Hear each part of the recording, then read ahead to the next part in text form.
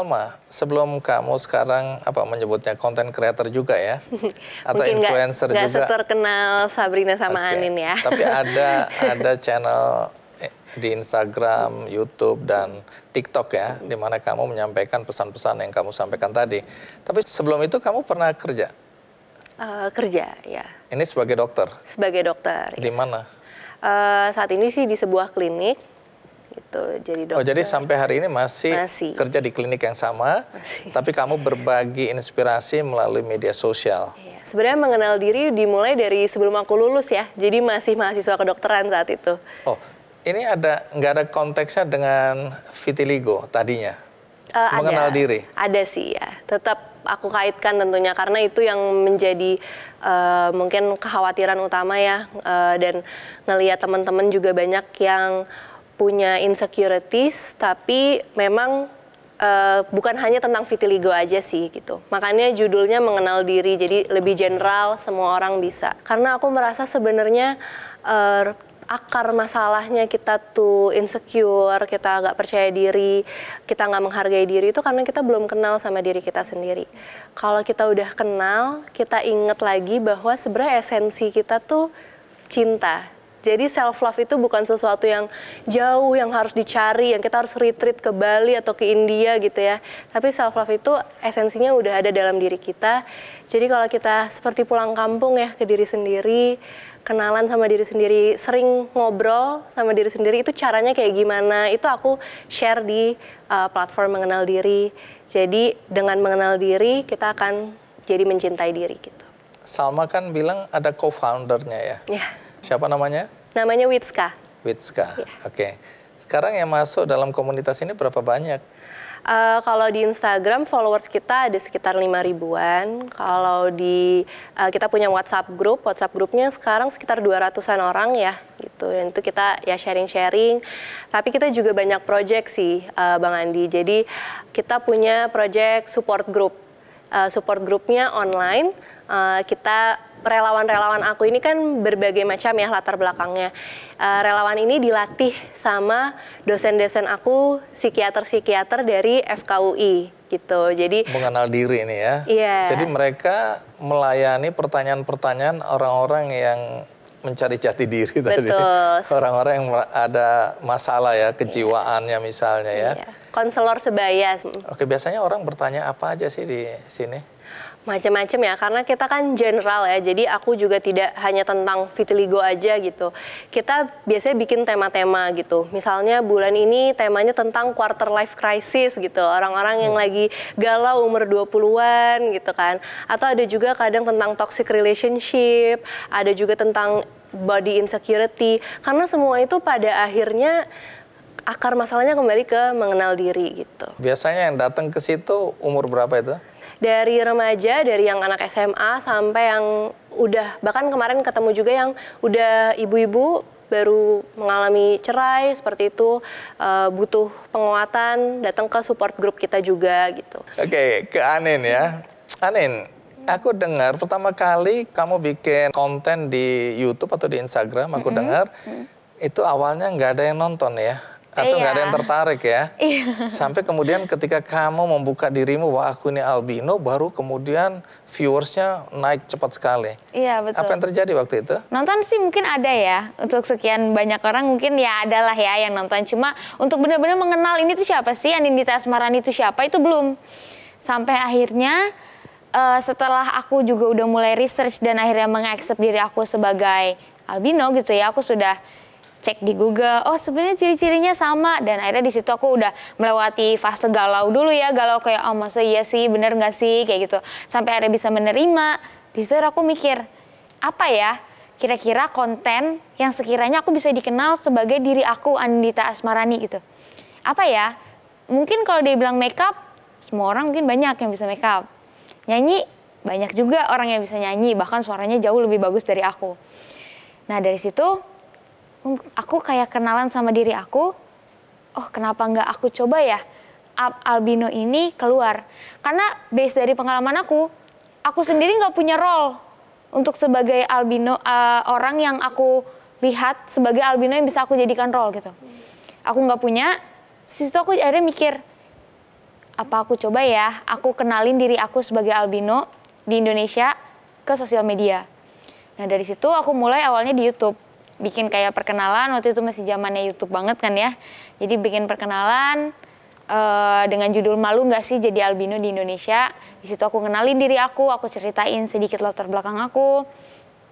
Dan justru aku kaget ternyata video yang seperti itu yang banyak respon baik dari masyarakat gitu dan juga orang-orang jadi makin kenal aku dari situ gitu dari situ juga karir aku juga alhamdulillah semakin membaik uh, aku semakin terjun di dunia entertain dan benar uh, dari pengalaman kasap juga dengan dengan sendirinya uh, Allah memberikan aku kesempatan untuk aku ada di depan layar gitu untuk lebih dikenal sebagai Anindita Asmarani yang terlahir sebagai albino. Kalau Sabrina tadi kan Sabrina juga masuk ke dunia kecantikan kontennya ya, hmm. karena mengendorse uh, produk kosmetika. Itu bagaimana ceritanya? Jadi itu diawali dengan aku lagi sedih-sedihnya, terus ya udah aku makeup aja, makeup simple kayak gini, terus aku upload, eh nggak tahu kenapa tiba-tiba reels. Uh, jadi kalau stigma apa ya algoritma di Instagram sama di TikTok itu lebih cepat TikTok. Saat itu aku nggak punya TikTok. Jadi aku bingung kok reelsku langsung upnya viewersnya banyak banget gitu kan. Ternyata banyak yang ngasih tahu aku kakak aku lihat kakak di TikTok. Hah? Aku nggak punya TikTok gitu kan oh jadi ada yang nge-upload gitu nah dari situ pertama kali di 2022 apa 2021 aku photoshoot dan itu brandnya skincare apa alasan mereka kalau disampaikan ke Sabrina? Oh, aku juga tanya, kenapa harus aku kak? Ada yeah. kok yang lain kak. Ini ini ini orangnya gitu kan. Oh ternyata uh, sekarang tuh produk skincare itu nggak melulu orang-orang Korea atau orang-orang yang kulit putih. Ternyata banyak banget sekarang yang udah open minded juga produk-produk itu. Jadinya ambil aku. Dan dari situlah aku booming di Twitter sampai aku akhirnya tiga bulan kemarin aku punya TikTok, jadi aku yang sekarang.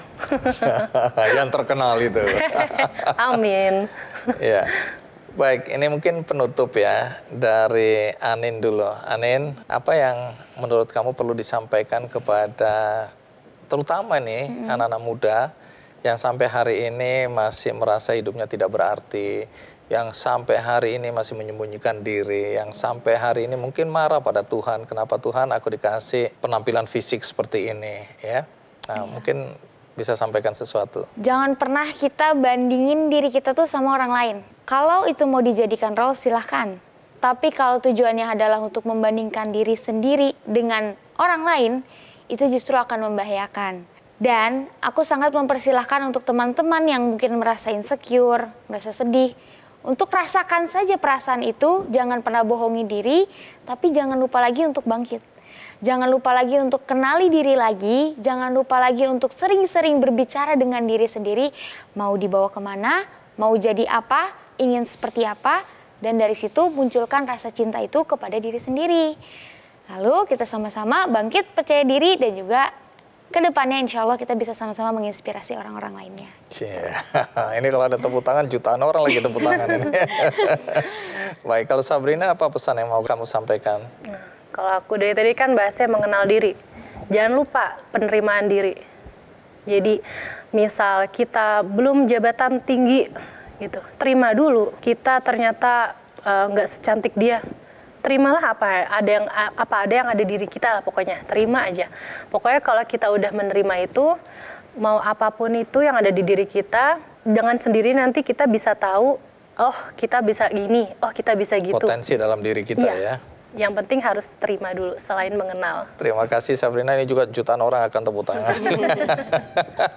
Terakhir Salma ya juga nasihat mungkin uh, tambahan titipan nasihat ini buat pria-pria yang selalu merasa bahwa kecantikan wanita itu ada pada fisik. Nah, coba kasih sedikit okay. pandangan, tapi pandangan untuk teman-teman yang mungkin mengalami vitiligo juga atau kondisi uh, fisik yang tidak sempurna. Mungkin yeah. kamu sampaikan sesuatu. Iya. Yeah.